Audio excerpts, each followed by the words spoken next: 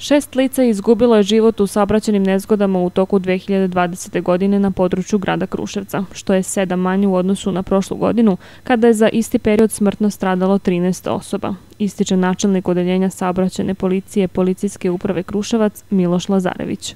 Grad Kruševac je do avgusta meseca nije imao poginulih lica, onda smo imali jednu saobraćaju nezgodu u kojoj su, nažalost, dva lica izgubila život, posle smo imali još dve saobraćaje nezgode u kojima je po jedno lice izgubilo život i evo sada u decembru još jedna saobraćaja nezgoda u, su u kojoj su dva lica izgubila život. E, kada pogledamo statistiku, ona jeste povoljnija u odnosu na prošlu godinu, ali to nikako ne sme da nas ohrabruje, moramo puno više da radimo i da pokušamo da u narednom periodu imamo što manje saobraćenih nezgoda, što manje poginulih lica, da ne kažem bez poginulih lica.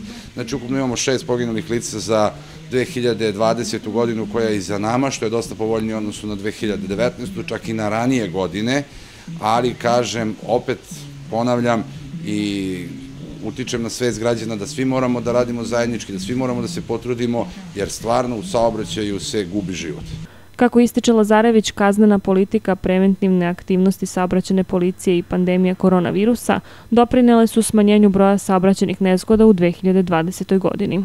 Pa možemo reći da je doprinelo dosta kako e, preventivne naše aktivnosti ovaj, na, na prosto koju ne možemo nikako da, da izostavimo jer stvarno daje dobre rezultate kako naša preventivna aktivnost samostalno tako i sa Savetom za bezbednost saobraćaja e, dosta tome doprinosi i represija e, nažalost i zbog ovog trenutnog stanja u kome se nalazimo zbog same epidemije malo je slabije kretanje pogotovo u noćnim satima i to je doprinelo isto manjem broju saobraćenih nezgoda i nekoj boljoj statistici. Ovom prilikom Lazarević je uputio apel vozačima da tokom predstojećih praznika prilagode brzinu kretanja uslovima i stanju na putu, poštuju ograničenja brzine i izbegavaju konzumiranje alkohola pre vožnje.